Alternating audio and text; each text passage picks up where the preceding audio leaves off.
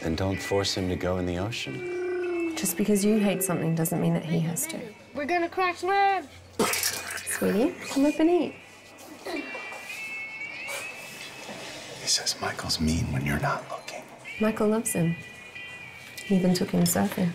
Ethan hates the ocean. Yeah. Veggies too. You can't keep him locked up all the time. He needs to live his life. You mean your life? New people, new experiences. That's not. You happy now? Another thing that's my fault. What The hell? Michael.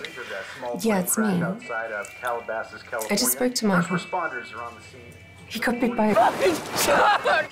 What? Of course. Come on. I'm coming. I have to go. See? The ocean.